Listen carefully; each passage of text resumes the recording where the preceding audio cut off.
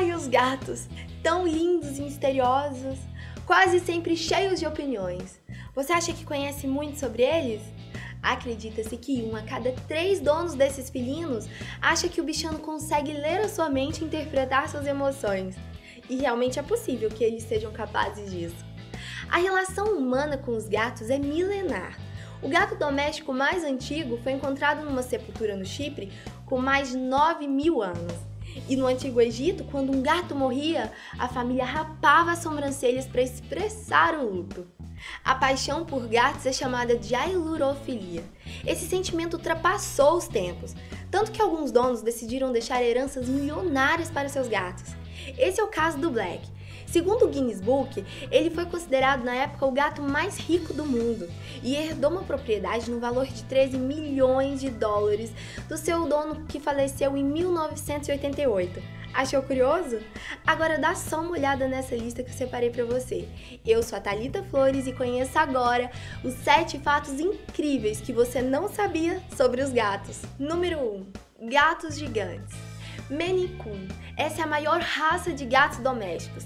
Eles podem pesar cerca de 12 quilos e medir 1,20m. E apesar da aparência de gato selvagem, são super dóceis. Originário do estado de Maine, o gato gigante Maine Coon é a raça mais antiga dos Estados Unidos. Pela internet circulam diversas fotos desses gigantes e de seus donos.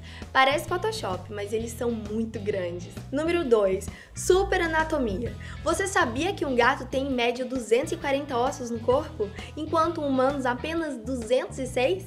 Outra curiosidade: esses bichanos possuem 32 músculos para controlar suas orelhas e elas podem girar quase 180 graus. E sobre o narizinho deles, quase sempre gelados, possuem padrão único, como uma impressão digital de um humano. Número 3 Reprodução.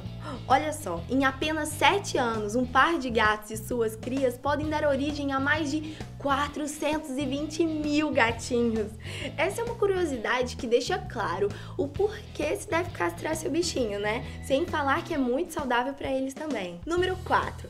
Sintonia com os humanos. Acho que isso você nunca reparou, mas os gatos quase nunca miam um para o outro, apenas para os humanos. Os pesquisadores acreditam que eles tenham adquirido essa habilidade de comunicação especial devido ao seu contato milenar com os humanos.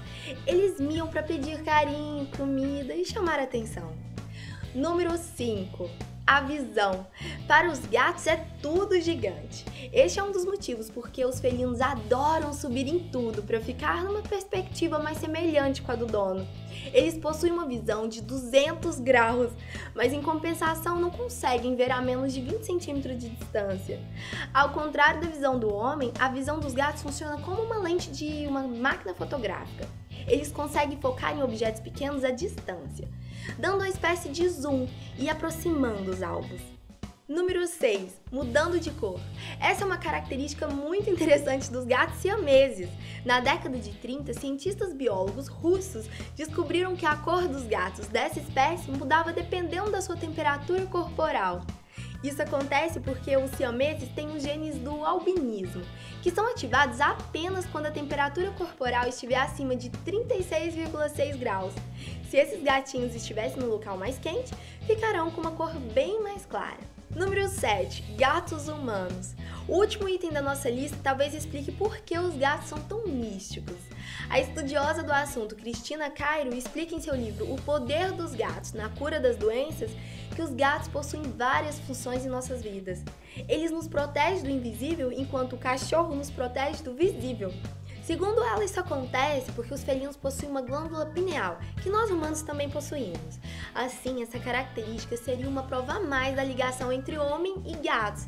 Além disso, explica também o contato deles com o mundo espiritual. Se isso é verdade ou não, ainda não é possível ter certeza, mas o fato é que a própria ciência afirma que o cérebro dos gatos é biologicamente mais parecido com o nosso do que o cérebro de um cachorro, por exemplo. E isso dá a eles a capacidade de expressar emoções mais próximas das nossas e até na maioria das vezes repetir comportamento da gente. Tal gato, tal dono. e se você não tem um gatinho, aposto que vai pensar na ideia, né? Até o próximo vídeo. Tchau!